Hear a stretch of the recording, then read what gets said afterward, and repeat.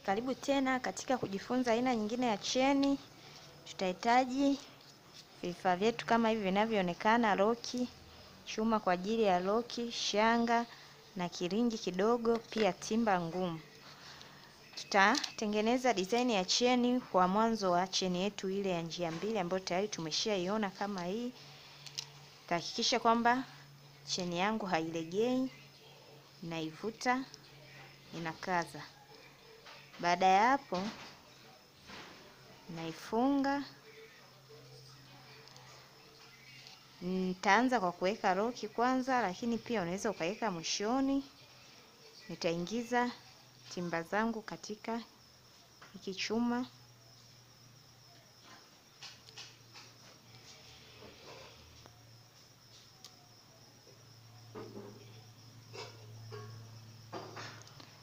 Kisha nitafunga.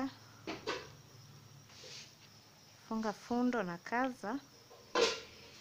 Fundo nene ili lisichomoke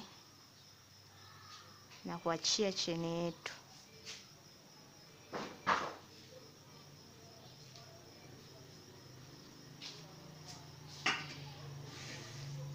Tafunga kisha nitabana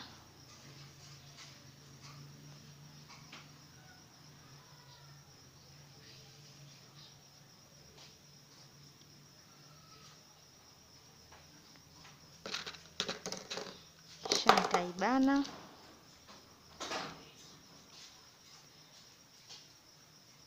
Baada ya kuibana, nitachukua ringi hii ndogo na kuingiza hapo.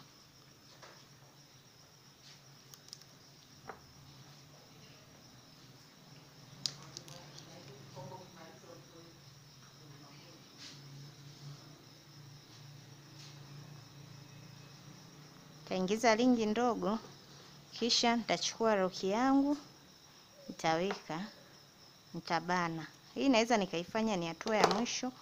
Nimeamua nifunge moja kwa moja hapa ili uzi timba yangu isinisumbue. Baada ya hapo, nitachukua timba ambayo ni hii, nitakata kimo kile kama nilichokata cha hapa. Nitaingiza timba yangu, nitaacha hapa shanga ya kwanza ya chini, shanga ya pili ndipo nitaingiza timba yangu, kisha nitaivuta taivuta na kuishika pande mbili, kushoto na kulia, pande zilingane kama kawaida. Baada ya hapo, nitachukua shanga.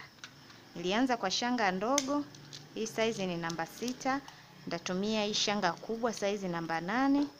Nitaingiza shanga kwenye mkono wangu wa kulia, ya kwanza, ya pili. Shanga ya tatu nitaingiza, lakini sitoishusha kwanza chini nitachukua timba ya mkono wa kushoto nitaingiza tena katika hii shanga, ndipo nitashusha timba zote chini kama hivi. Baada ya kufikisha chini, naona kabisa huu uzi wa mkono wa kushoto unani direct moja kwa moja kwamba unatakiwa kuelekea huku. Kwa hiyo natakiwa niuingize katika shanga hii ya chini inayofuatia. Nitashika ncha ya uzi wa kushoto nitaingiza katika tundu la shanga inayofuatia, kisha nitaivuta.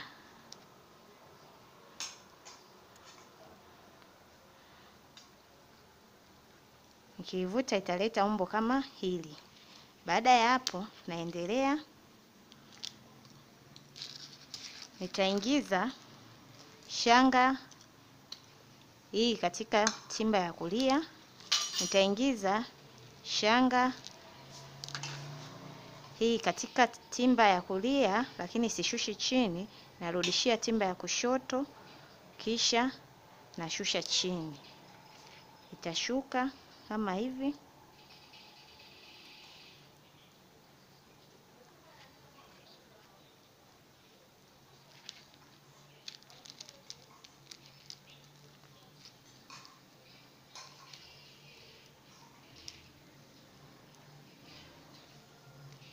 Embu kata.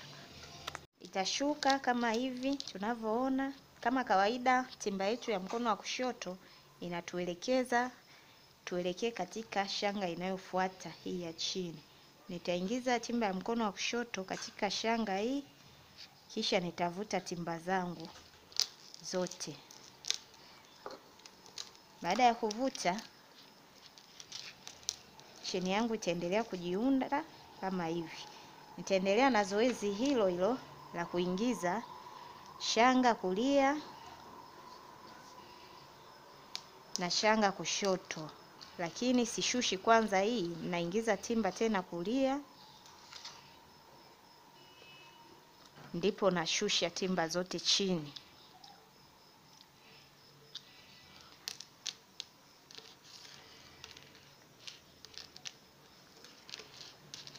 Baada ya kushusha chini, taendelea kufuata timba yangu inavyonielekeza kwamba niingize shanga inayofuatia ambayo ni hii ya kushoto chini.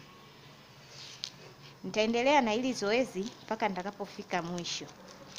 Cha msingi ninapoanza nianze na shanga tatu, lakini hapa ninapoendelea naendelea kuingiza shanga mbili. Moja naingiza inaacha inashuka, ya pili siishushi, nairudishia timba ya kushoto na ya kulia, ndipo naishusha chini, naendelea kuingiza uzi na kuendelea mpaka kufika mwisho. Nikifika mwisho, cheni yangu itakuwa kama hivi, itakuwa imekamilika kama nilivyoanza kufunga roki. Kwa hiyo mwishoni nitamalizia kwa kufunga loki ya kuwekea mkufu ambao utatusaidia kuongeza na kupunguza ukubwa wa cheni. Kama tunavyoona, cheni ipo tayari kwa ajili ya kuvaliwa. Unaweza ukafungia mwanzoni hapa, lakini unaweza ukasogeza kulingana na ukubwa wa shingo ya mtu. Mpaka hapo nimefikia mwisho wa kipindi. Karibuni tena katika kipindi kijacho.